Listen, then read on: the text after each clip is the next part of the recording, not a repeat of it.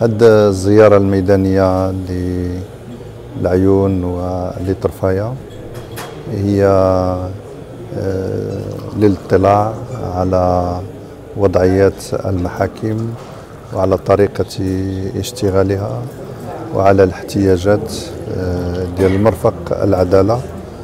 آه، أيضا هي زيارة ذات دلالات للتأكيد على الأهمية التي تحظى بها الأقاليم آه، الجنوبية في استراتيجية الوزارة.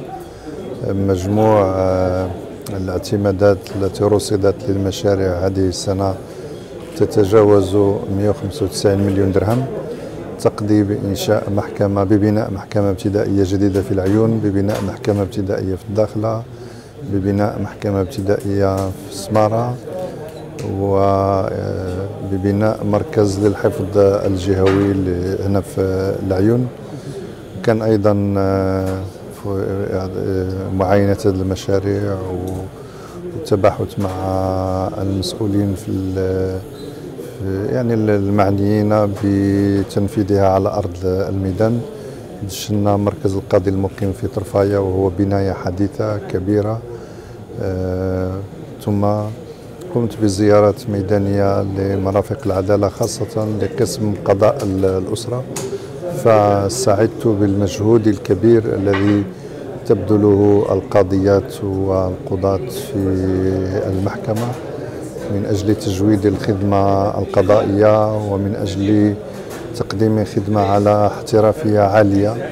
وتأثرت حقيقة لانخراط كل المحاكم في مجهود الرقمنة في مجهود آه، الرقمنة وفي مجهود آه، استعمال وسائل التقنيات الحديثة آه، في مجال القضاء. إذا كما تعلمون هذا المشروع ديال المحكمة الرقمية هو طموح وطني كبير نسعى إلى تحقيقه في أفق 2021 هو تحول تحول جوهري سينقل الممارسة القضائية من مرحلة إلى مرحلة أخرى. العالم يتغير. رهانات هذا العالم الجديد متعددة والرقمنة ولجت كل مناحي الحياة كل مناحي الحياة. إذا فلا بد أن ينخرط العمل القضائي وأن تنخرط العدالة في مواجهة أسئلة هذا التحول لإنجاز تحول رقمي حقيقي لا يتوقف عند آه، بعد تقديم بعض الخدمات أو إنجاز بعض المساطر عن بعد ولا ماديات الاتصالات بل هو مشروع متكامل شامل عميق يدخل الرقمنة في بناء مرفق العدالة.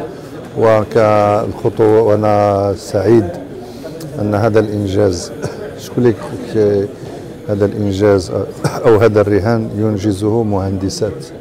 ومهندسون مغاربة من خلال تضحيات وجهد مكثف لرفع هذا التحدي. آه، الآن نحن بصدد أيضا آه، التقعيد القانوني للمحكمة الرقمية وإدخال البعد الرقمي في كل المساطر التي نشتغل عليها خاصة في المسطرة المدنية وفي المسطرة الجنائية. هناك أوراش كبرى تم فتحها مع آه، المهن القضائية لإنجاز منصات التواصل وإنجاز لا مادية التعاملات خاصة مع الموثقين والعدول والمحامين. إذا هو ورش كبير في بدايته. نطمح أن تنخرط فيه الجامعات.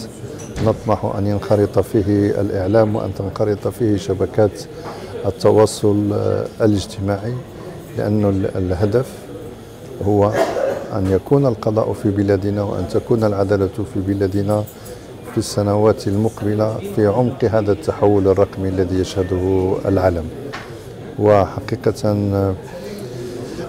كل ما كنزور المحاكم وإلا أزداد اقتناعا بحتمية الإسراع في هذا في إنجاز هذا الورش. فاليوم القضاة وكتاب الضبط وكل المهن القضائية تستعمل الحاسوب تتعايش مع الرقمنة والتكوينات الجارية في المحاكم وفي الوزارة. تهيئ حتى تهيئ كل الظروف للسيطرة ولتطويع الرقمنة للعمل القضائي. الإصلاح القضاء هو مشروع تاريخي ومشروع ملك. يقوده جلالة الملك محمد السادس ويرعاه ويشرف عليه. قطعت فيه عدد ديال الخطوات كبيرة منها استقلال المؤسسي للسلطة القضائية انتقال رئاسة النيابة العامة من وزير العدل إلى الوكيل العام للملك لدى محكمة النقد. وتحولات هي الآن بصدد آه، بصدد التفكير فيها.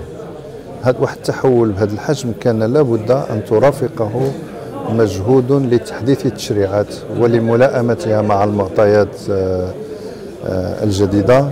إذا صاد قدمنا مخطط تشريعي. ولا بد أيضا إكراما لزملائي السابقين من وزراء وقضاة. أنا أقول أنه الإصلاح عمل تراكمي.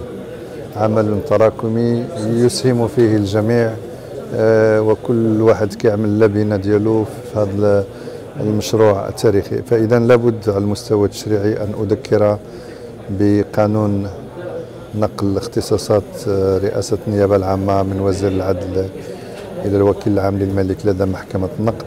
عملنا قانون جديد للتنظيم القضائي آه، عدنا عملنا إصلاح القانون المنظم لصندوق التكافل العائلي. عملنا إصلاح آه، آه، الكتاب الخامس من مدونة التجارة وهو إصلاح عميق لمنظومة مساطر صعوبة المقاولات. وهذا الإصلاح مكن بلادنا من تحسين وضعيتها في الترتيب ديال مناخ الأعمال. انتقلنا من 69 إلى 60 المصادقة على هذا القانون اللي لأنه في ترتيب مناخ الأعمال هناك مؤشرات كبرى. يتم الاعتماد عليه منها مؤشر الإعصار وفي مؤشر الإعصار بفضل هذا التعديل الكتاب الخامس ربحنا 63 نقطة.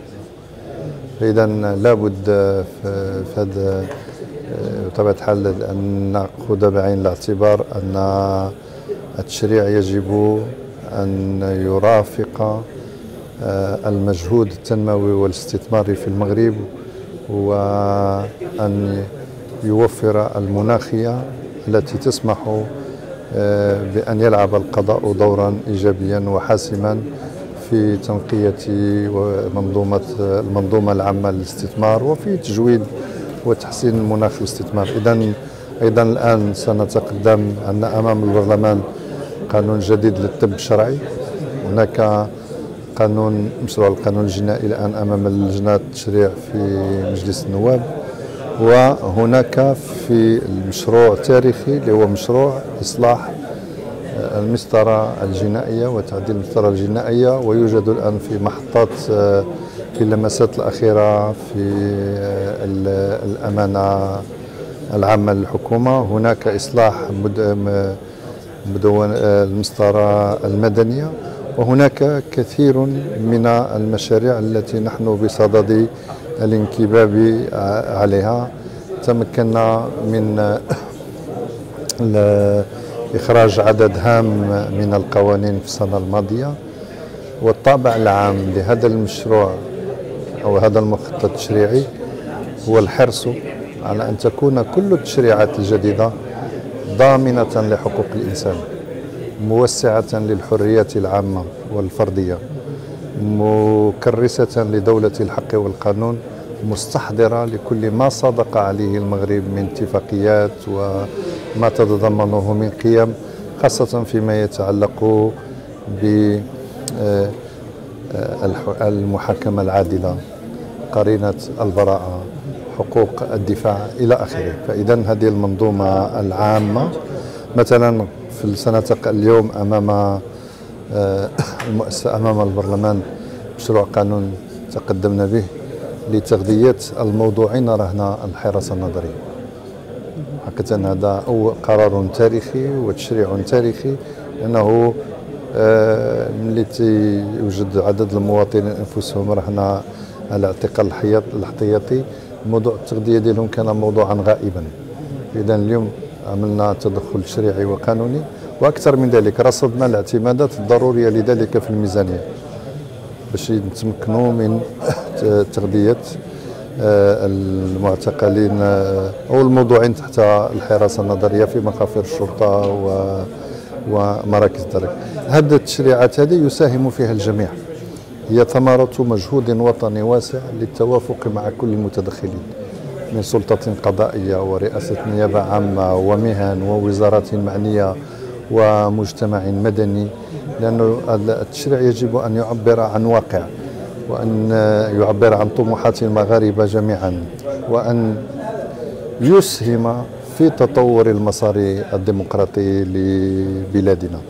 إذا هذا الورش واللي فيه أمور أخرى في مثلا سنتقدم بمشروع قانون عدد من مشاريع القوانين.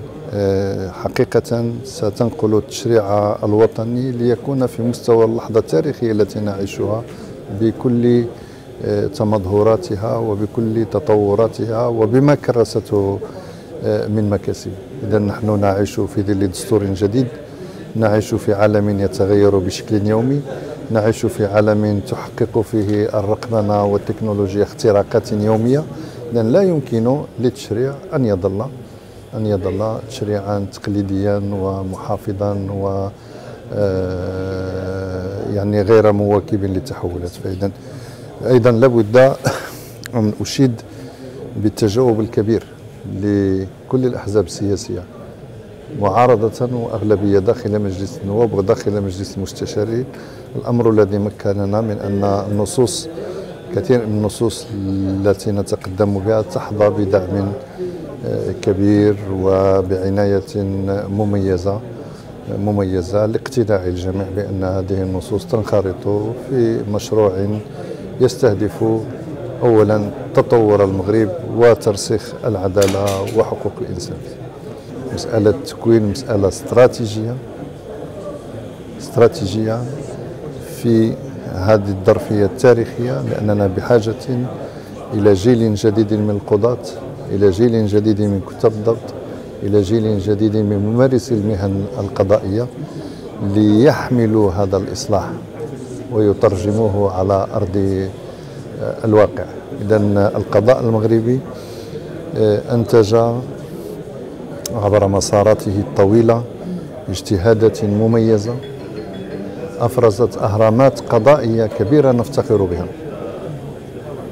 بفضل جهودها بفضل تضحياتها بفضل نزاهتها. واليوم نحن بحاجة لمؤسسات تكوين لإنتاج أجيال جديدة تواصل هذا الفعل القضائي هذا الاجتهاد. ولكن أيضا قادرة على التجاوب مع رهانات الرقمنة ومع تحديات وتحولات العالم الجديد لأن التكوين يعطيه المجلس الأعلى للسلطة القضائية ونعطيه نحن في وزارة العدل ويعطيه المغرب بصفة عامة بصفة عامة آه، أهمية كبيرة. نحن أيضا بصدد التفكير في صياغ التكوين الأساسي وأيضا التكوين المستمر لأن التكوين المستمر مهم جدا. للأجيال التي تم تكوينها قبل سنوات طويلة لكي تتعرف ولكي تتملك. تتملك كل التغييرات والتطورات التشريعية التي حصلت في بلادنا. سنة في المعهد العالي للاتصال والتي ستزداد أهمية في السنوات المقبلة تكوين القضاة في مجال التواصل. تدريس اللغات الأجنبية واللغة الأمازيغية كلغة وطنية إضافة إلى اللغات آه، آه، الأجنبية. اليوم القاضي أو المسؤول القضائي بتعبير أدق مدعو إلى التواصل مع مجتمعه. مدعو ولكي يتواصل بشكل جيد ومحترف. يجب أن يكون على اطلاع على هذه الحرفة وعلى هذه الصناعة وما يحكمها من تقاليد وما يحكمها من تشريعات وما يحكمها من أخلاقيات حتى أيضا أن القضاء وهو يتعاطى يتعاطى مع الإشكالات التي قد تفرزها الممارسة القضائية وقد تصل إلى آه، تصل إلى ساحات المحاكم أن يكون ملما ملما بهذا الحقل المهني وخبيرا في ما يحكمه من قيم ومن قوانين ومن أعراف. آه، والآن آه، نحن نعيش مجتمع المعرفة ونعيش مجتمع التواصل وخاصة آه، أشكال أشكال التواصل الجديدة. من صحافة رقمية من شبكات تواصل اجتماعي